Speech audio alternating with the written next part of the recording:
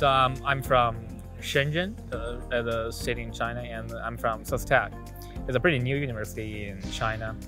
And uh, we have a program uh, with MIT. In this program, every year we have students that will come here to study in MIT Mechanical Engineering Department. We study for a year and then we go back. About uh, six students per year could have the opportunity to come to MIT as a special student. It's a non-degree program, but we get to choose classes here and we actually experience what it's like to be an MIT student.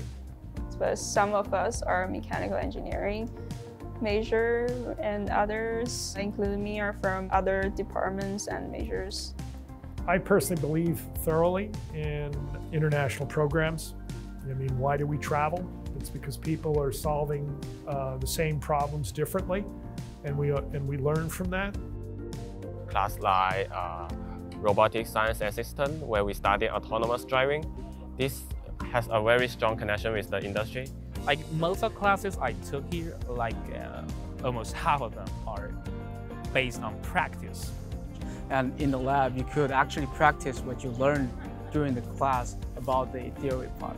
That's pretty wonderful. The teacher will tell you that when you have an idea, then just go for it and make it and see what will happen.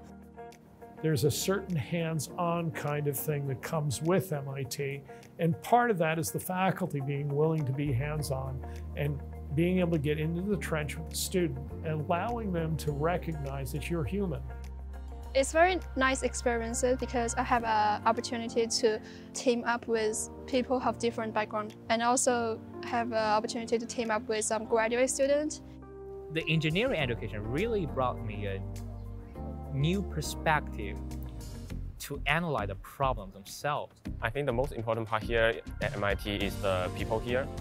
People are motivated and also we can communicate different ideas and try to make the things happen.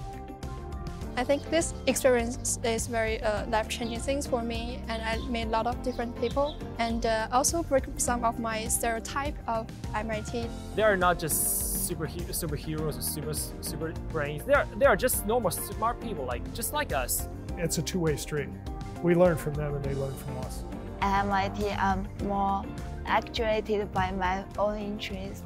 Also, it's very good to try different different things. Our daily life is uh, very similar to the undergraduate students at MIT and could take could have opportunity to take activities and other any other kind of things. I did some ice boating with Professor Bryson. I live in southern part of the China, so I never seen snow before. Never have some like ice ball before. That, that's pretty pretty cool. Maybe the most uh, important thing I learned from these experiences is be true to yourself. Yeah, you, you don't need to just follow up other people's choices. You need to analyze your own experiences and find your own diversity. In addition to learning knowledge and uh, some skills, I think to open my eyes and give me some inspiration about my own life and my, my future. I learned that you gotta got the courage to just do whatever you like and thrive on it. Just go with your passion and go push your 100%, get the best of yourself.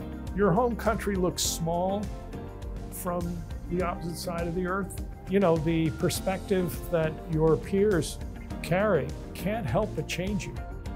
Sometimes when you're undergoing something, you know that something is going to change your life. And this is definitely one of the one of the things that I know this year will make a significant change to, to my life.